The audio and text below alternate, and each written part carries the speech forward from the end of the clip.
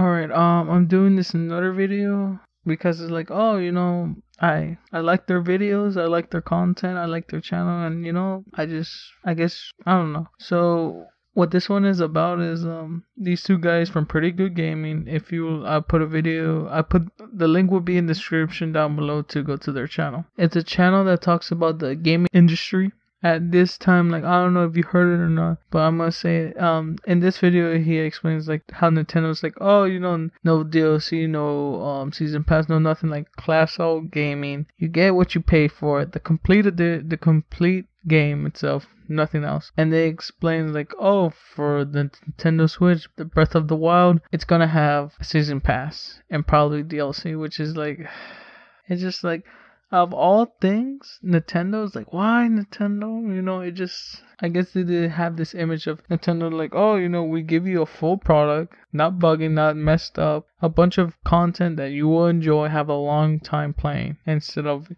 other syst- other games and systems that like, oh, you know, I pay a quarter of the game, like, you know I don't want to say bad about it, but Destiny, because it's all the whole game is basically the expansion. You have to buy all the expansion to get a better understanding than playing, you know, the game. And that was sixty dollars at launch. And let's say Mario's like Mario Party or Mario Kart, like sixty dollars exactly same price, but one had more content than the other at launch. So it's really disappointing that like oh Nintendo's gonna be more modern like you there's two ways to take it. It's bad because like oh they're gonna implement more of the um policies of like dlc season pass trying to be like oh to get more money. It's like oh that's kind of bad but if it's done right it's like oh okay you know you know if it like look at skyrim and bethesda how they do it right for this games. And then like oh okay. But it's also good because how more modern is like oh they're they're collabing or if not working with um youtubers more with the internet like showing the um system in the games on like television like um jimmy fallon stuff like that. And also they made a game on the uh, ios store which is like oh they're gonna go into mobile. It's like oh okay that's another platform where your games could